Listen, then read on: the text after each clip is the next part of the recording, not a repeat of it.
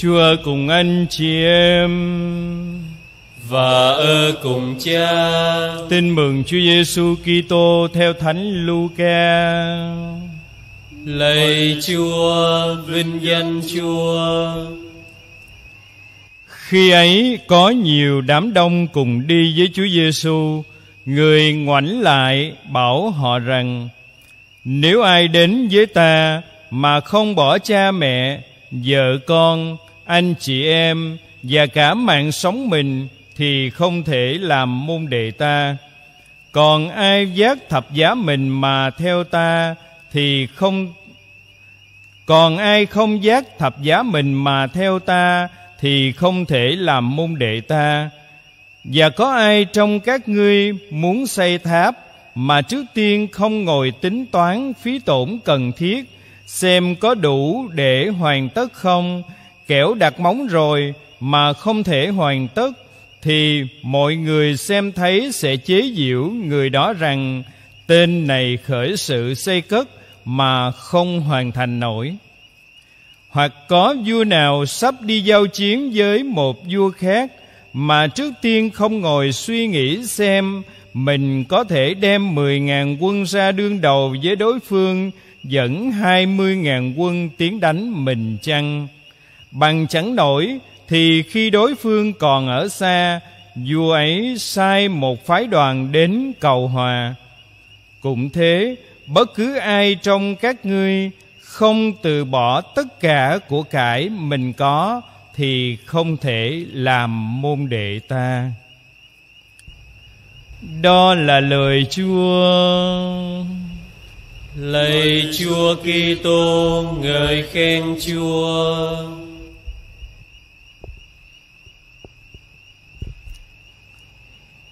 Thương bạn chị em, Chúng ta đang ở trong năm đặc biệt Kính Thánh Du Xe Và trong năm nay, Theo định hướng của Hội đồng Giám mục Việt Nam, Vào ngày thứ tư hàng tuần, Nếu như không có lễ gì đặc biệt, Thì chúng ta sẽ cử hành lễ kính nhớ Thánh Du Xe Để nhắc nhớ chúng ta hướng về Ngài và thưa ông bạn chị em, Khi cử hành thánh lễ, Kính Thánh Du Xe, Những tuần vừa qua, Chúng ta cùng nhau chiêm ngắm Các đức tính của Ngài Như cha Isidoro Isolani Đã khám phá ra trong tên gọi của Ngài.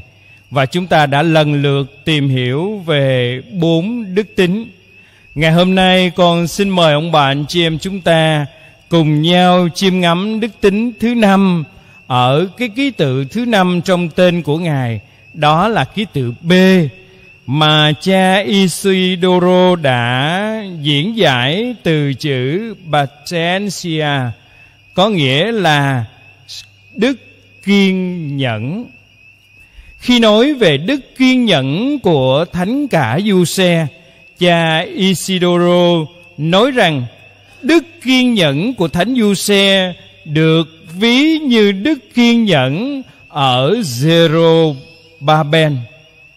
Vậy thì trước hết, chúng ta thử tìm hiểu coi Zero Baben là ai và đức kiên nhẫn của ông như thế nào. Đọc lại cụ ước chúng ta sẽ thấy Zero Baben là cháu nội của Zeconia mà hồi tuần rồi chúng ta cùng nhắc với nhau đó là trong cái thời lưu đài của dân Do Thái bị hoàng đế Nabucodonosor bắt đi lưu đày ở Babylon. Zerubbabel sinh ra ở Babylon trong thời lưu đài ấy. Và thương bạn chị em, sau 50 năm lưu đài, thì vua Ba Tư là Siro đã đánh bại quân của Babylon và cho phép dân Do Thái được hồi hương trở về. Không vậy, không những vậy, ông còn trả lại cho dân Do Thái những đồ quý hiếm mà vua Nabucodonosor đã lấy ở trong đền thờ Jerusalem khi mà đánh chiếm Jerusalem. Ông đã trả lại tất cả cho dân Do Thái. Và không những vậy, ông còn trích ra trong ngân khố của ông một số tiền để cho dân Do Thái về tái thiết đất nước, xây dựng lại đền thờ đã bị Nabucodonosor Nabucodonosor bình địa. Thương bạn chị em trở lại quê hương với sự chỉ huy của Zerubbabel lúc bấy giờ được xem như là một vị khâm sai của vua Siro. Dân Do Thái bắt đầu tái thiết lại đất nước, tái thiết lại đền thờ. Nhưng mà rồi có cái công việc tái thiết đó không phải dễ dàng bởi vì tất cả đã bị tàn phá.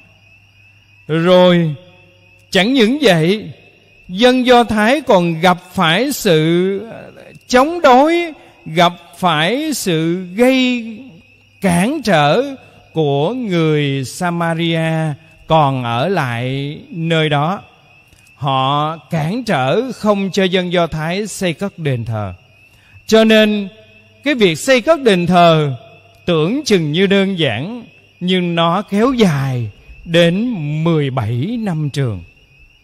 Thưa ông bạn chị em, đứng trước sự hoang tàn, đứng trước sự đổ nát và gặp phải sự phá hoại cũng như cản trở của người Samaria. Zerubbabel vẫn không nản lòng mà một mực kiên nhẫn trong việc tái thiết đất nước trong việc xây dựng lại đền thờ. Chính sự kiên nhẫn của Zerubbabel mà cái đền thờ đã dù chậm nhưng được xây dựng lại. Và cái đền thờ đó đã tồn tại cho đến thời Chúa Giêsu. Mãi cho đến thời Chúa Giêsu thì vua Herode mới phải đại trùng tu lại ngôi đền thờ đó. Qua đó cho thấy cái sự kiên nhẫn của Zerubbabel đã được đền đáp. Như vậy, thưa ông bạn chị em, nhìn lại sự kiên nhẫn của Zerubbabel để chúng ta chiêm ngắm đức kiên nhẫn của thánh du xe thánh du xe cũng đã luôn sống đức kiên nhẫn trong đời sống của mình có thể nói một cách chung như thế này. Thánh du xe đã kiên nhẫn đến độ chỉ biết làm thinh, làm theo thánh ý của thiên chúa mà thôi, chứ không bao giờ đôi co lại với thánh ý của chúa. Cụ thể, ngài đã kiên nhẫn đón đức maria về nhà để chăm sóc, để yêu thương theo lời chúa dạy mà không có một chút nghi nan. Ờ, rồi, ngài đã kiên nhẫn chịu đựng mọi khó nhọc lần này đến lần khác mà không một chút càm ràm, không trách móc sao mà chúa để cho mình phải thiếu thốn, phải chạy trốn, phải cực nhọc trăm bề như vậy. Rồi ngài đã kiên nhẫn tìm kiếm con khi lạc mất con và đã kiên nhẫn lắng nghe lời giải thích của con, cũng như đã kiên nhẫn suy nghĩ những gì mình chưa có kịp thấu hiểu từ những gì con nói với mình. Như vậy cho chúng ta thấy, thánh du xe đã kiên nhẫn cả trong lời an tiếng nói cho đến cái việc mình làm. Chính vì thế mà ngài đã trở nên gương mẫu cho mỗi người chúng ta.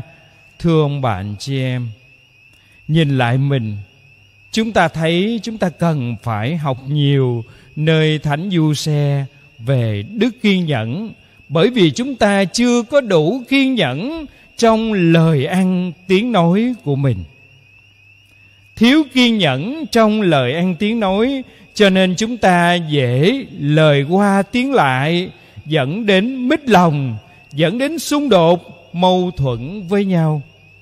Chúng ta hãy học nơi thánh du xe sự kiên nhẫn lắng nghe. Ngài luôn thinh lặng để lắng nghe, và chính sự thiên kinh thinh lặng lắng nghe đó mà tiếng chúa đã vang lên chỉ cho ngài đường ngay nẻo chính và ngài đã đi đúng đường mà chúa mong muốn. Và thương bạn chị em, không những chúng ta thiếu kiên nhẫn trong lời an tiếng nói, mà nhiều khi chúng ta cũng kia thiếu kiên nhẫn trong hành động, trong việc mình làm. Cho nên khi gặp những cái khó khăn thử thách trong cuộc sống, chúng ta dễ buông xuôi tránh trúc thậm chí, chúng ta phản ứng, chúng ta than trời trách đất. Thái độ thiếu kiên nhẫn như vậy không giúp chúng ta giải quyết được vấn đề khi gặp khó khăn thử thách. Mà nếu như chúng ta biết kiên nhẫn, thì đức kiên nhẫn mới giúp chúng ta giải gỡ những khó khăn, mới giúp chúng ta có thể đối mặt với khó khăn. Đức kiên nhẫn sẽ giúp chúng ta tìm kiếm được giải pháp cho vấn đề. Và đức kiên nhẫn sẽ giúp chúng ta giải gỡ được những cái vấn đề, những cái khó khăn thử thách. Vì vậy, xin chúa cho mỗi người chúng ta trong cuộc sống luôn sống đức kiên nhẫn như thánh cả du xe biết học theo ngài, đức kiên nhẫn, để chúng ta có thể luôn đứng vững vàng kiên định trước những cái khó khăn thử thách mà chúng ta đối mặt. Amen.